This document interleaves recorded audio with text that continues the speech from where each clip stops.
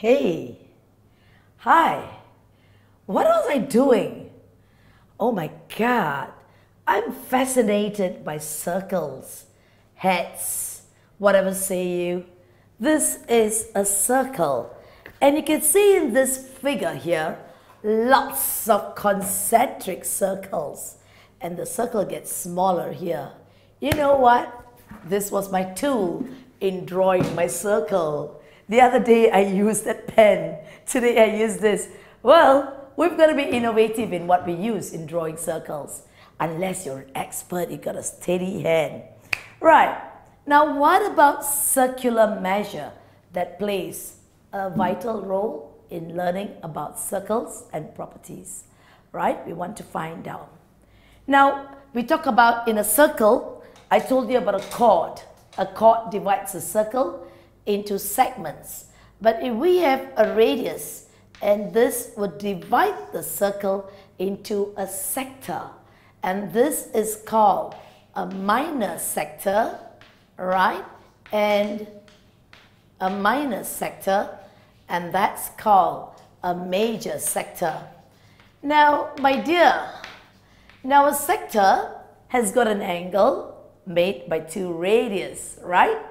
You were wondering what I was doing. I have not got over this over my head.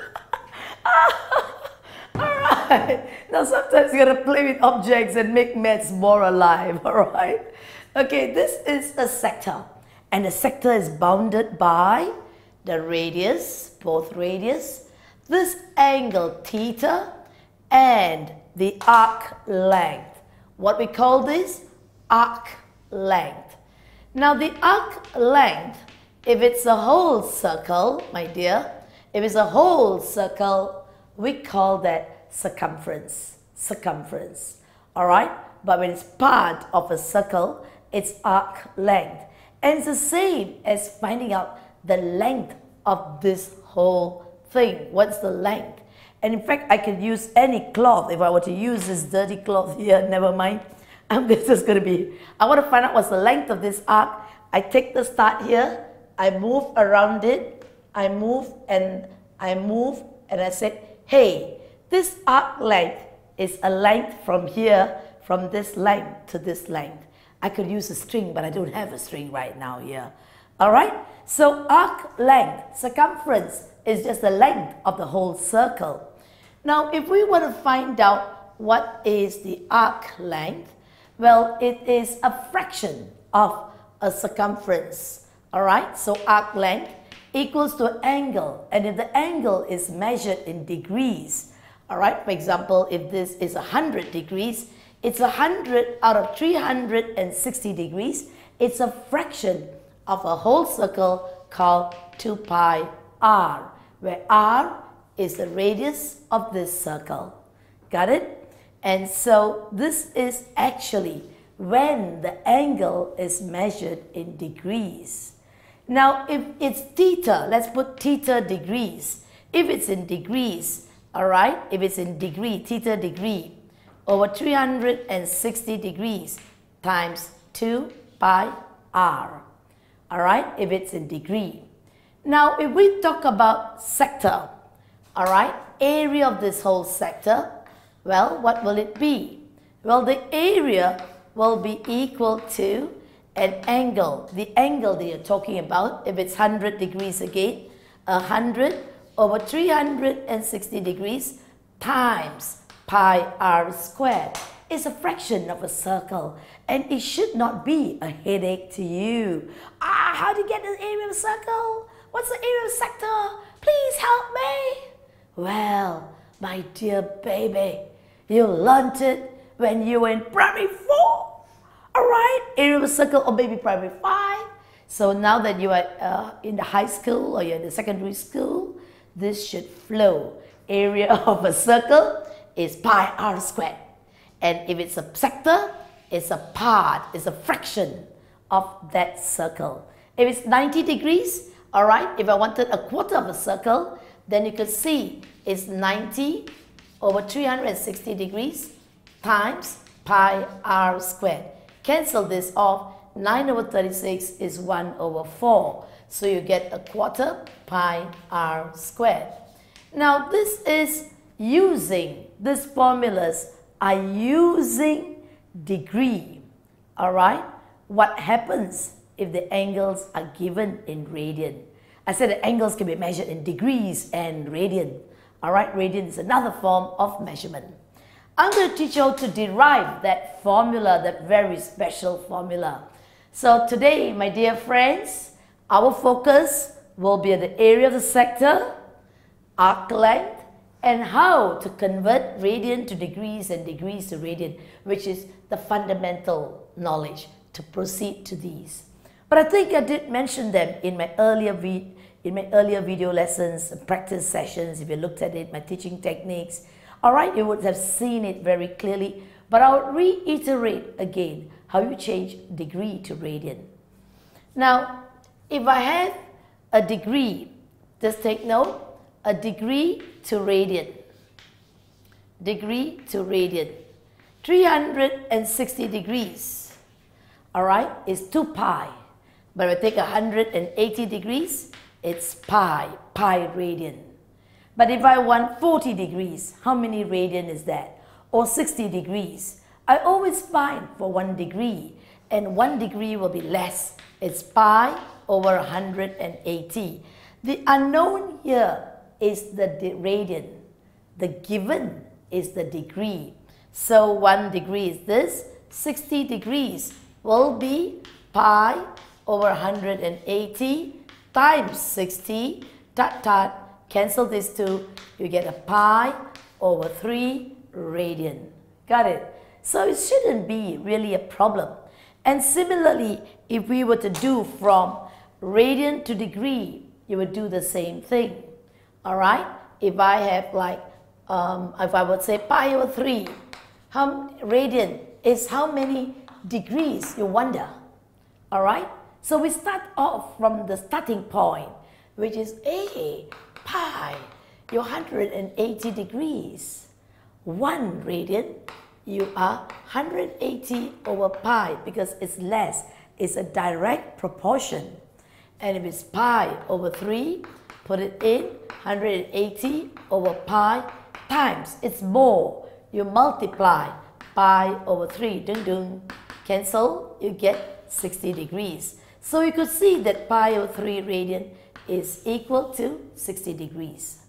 Now this is really important for you when you do your circular measure. Now let's look at a few things, how we derive formulas. Now if I've got the center of a circle and this is the radius and this is theta in radian and this is the angle or this r, r and this is the arc length, the arc length. We want to find out what is the arc length, L, all right? And we also want to find out what is the area of the sector, okay? So it's a very simple explanation on how you get the formula. So be with me, please. Very simple proportion. All right. Theta over 2 pi. All right, the proportion of the angle, all right, that gives you the fraction, is equal to the area of that sector over the area 2 pi will give you the whole area of the whole circle. So that's pi r squared. Area over area. And so what's the area sector equals to then? Bring the pi r squared up when you bring it up and you divide it by 2 pi, doom, doom, 1 over 2, all right? Okay, you get 1 over 2, r squared theta is your area, half r squared theta. Now I know you saw theta there, theta, theta r squared over 2. You know, very funny in maths. The shorter number, the sh r is smaller, theta is so tall, please stand behind. It's just an order of arrangement. And half, you can write it as r squared theta over 2 because the 1 is just understood. So that will be the area of the sector. Got it? It's very simple. Angle over angle equal to area over area. And how do you get that formula? And this unit must be in radian. Very important. If it's in radian, this has to be in radian too. Please take note. All right. Now from there, we've got that and we could easily work that out. Even if it was in degree, let's put here 100 degrees over 360 degrees equals to area over pi r squared. If you look at the formula, you bring the pi r squared up, you get 100 over 360 times pi r squared. Do you see that connection that I got here, the angle? They're the same, not very different, right? So I just want to show you whether you write it in degree, whether you write it in radian, you must be careful how you go about it. Is a degree with a radian? No, no, no, no, no. All right, take note of that. So please get that here. But at your level, all right, you're expected to do in radian. You are expected, not it. It's just another thing that you gotta know. So the area of a sector equals to angle over angle, both in radian, area of sector over pi r squared. Bring that pi r squared up, pi and pi, bye bye, cancel them off, division. 1 over 2 r squared theta is the area of the sector. Now we come, so if I have theta here, that's your angle, and this is r, this is r. The area of this sector, all right, the area of this place will be equals to a equals to half r squared theta. Got it. Now what about arc length? Arc length is the length from here to here. Hey, how long are you? We want to find out. So the same thing works, right? If it is in angle theta, let's look at it. Theta over 2 pi. 2 pi, pi is 180 degrees. 2 pi is 360. So a whole circle for the whole length of 2 pi r is 2 pi, all right? I didn't just, we just don't put numbers like that. There must be a meaning, a connection of ideas. Now this theta corresponds to this length, arc length L. So we put it as L, and 2 pi is this whole angle, which is the length of this whole circle, which is 2 pi r. Well, the arc length will be theta over 2 pi times 2 pi r. Got it? Doop doop, bye bye, bye bye. All right? Say that. Bye bye, bye bye. Because you're dividing, you cancel them off. And what's left? Theta r. Who is so tall? Theta. Do you like theta blocking r? We just rearrange it. r theta. Even in maths, there's such a thing called order, respect, height, tall ones at the back, short ones in front. Normally you don't put BA, you always say AB. A was born first before B, isn't it? You, it's, it's just a common thing. You don't say ZYX. What do you say? XYZ. So it's just a respect, whichever came first. I presume, that's my assumption I made. And I see it a practice that all mathematicians in books they do. So I tell myself, ah, even in maths, there's a code of respect. My dear, remember that. It's practiced everywhere. Respect. Respect for formulas, respect for ordering. So the arc length equals to r theta. You got it? Angle over angle. Length over length. You, I will be shocked if you put L over pi r squared. Does it make sense? Length over area, come on, come on, come on, come on. Just tell yourself, wake up. All right? So you should be length over length, angle over angle. Just like what we did. If you don't mind if I set this angle, if I set a 100 degrees over 360 degrees equals the arc length over 2 pi r. We want to find the arc length. You bring the 2 pi r up okay, It's 100. I should have cancelled that. I just wanted to show you the connection. Bring this 2 pi r up, all right, and that's your arc length. You see, I've got that arc length here. Look at that. It's a fraction of the length of the whole circle. So it makes a lot of meaning to you. I want you to learn maths, understanding the birth of the formula. The birth. Remember the birth means what? How it arose. Do you know about your birth? How you, it's the birth. How it all happened. All right? How do you come to this earth? You know, okay, your mom and dad are there. All right? So it's a legal bond. And there you are. Similarly, there is a legal connection, there is a logic, there's a reason. This world is made of that. right? So find the connectivity. Angle over angle. Length over length. Bring your 2 pi r and you get your L, r theta. Now I'd just like to bring you again back to circular measure. You would find circular measure a very easy thing right now.